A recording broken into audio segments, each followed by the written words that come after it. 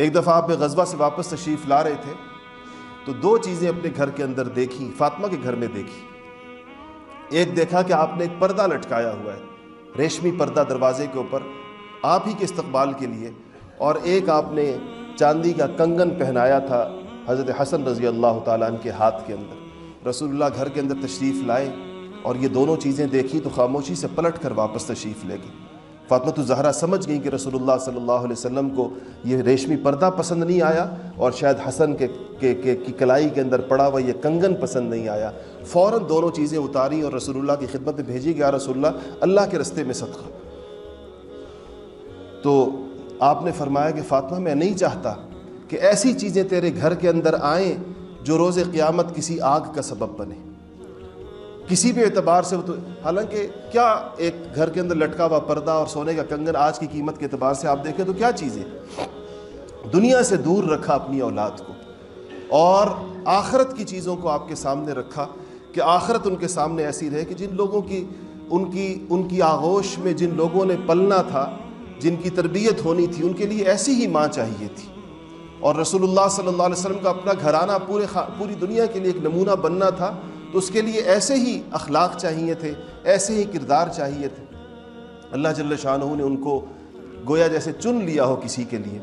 एक चीज़ और मर्रखीन ने लिखी है कि रसोल्ला सल्ला वसम ने एक दफ़ा एक शख्स आया और आपसे कहा, उसने फरियाद की कि कहा, या रसोल्ला मुझसे ज़्यादा अपने कबीले का नाम लिया कि मेरे घर के अंदर, मुझसे ज़्यादा मेरे कबीले के अंदर गरीब कोई नहीं है। तो आपने सहाबा से पूछा कि कौन है जो इसको कुछ अता करे, जो इसको कुछ दे। उसके पास कुछ भी नहीं था।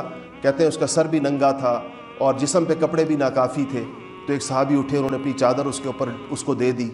कहते हैं कि कौर साहबी उठे, उन्होंने उसके सर के ऊपर अपना अमामा रख दिया। उसका कहा, आपने कहा इसके सर को कौन ढांकेगा? उनका सर ढांक दिया। फिर आपने पूछा कि अब इसको खिलाएगा कौन? तो सलमान फ़ारसी ने कहा, उनका अपना भी कोई घर नहीं था। सलमान फ़ारसी का मस्जिद में रहते थे। तो उन्होंने कहा कि यार रसोल्ला मैं साहबा के घरों के ऊपर ले जाता हूँ, इसको जिसके घर में कुछ खाना हुआ, वो इसको खिला देंगे। तो कहते हैं, मुख्तलिफ़ घरों से होते हुए जिस, उस दिन कुदरत इतफ़ाक़ की बात थी, उसरत का ज़माना था, कि दो, जिन जिन घरों से वो घूमे, किसी घर के अंदर भी कुछ नहीं था। तो जब वो आए तो फातमा जहरा के दरवाज़े पर पहुँचे।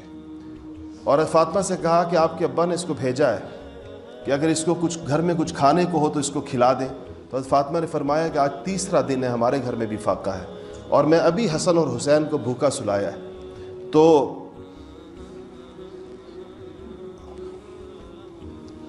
उन्होंने कहा कि वो जाने लगे तो आपने कहा कि, फातिमा ने कहा कि ये मेरी चादर है।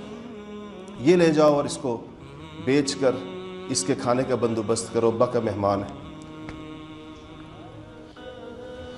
तो वो लेकर गए और उससे जो दाने मिले बास तारीख़ी रिवायात के अंदर आता है कि फ़ातिमा ने किसी यहूदी के का पता भी बताया कि उसको जाकर दो उससे कहो कि या तो गिरवी रख कर कुछ दाने दे दे या ख़रीद कर कुछ दाने दे दे।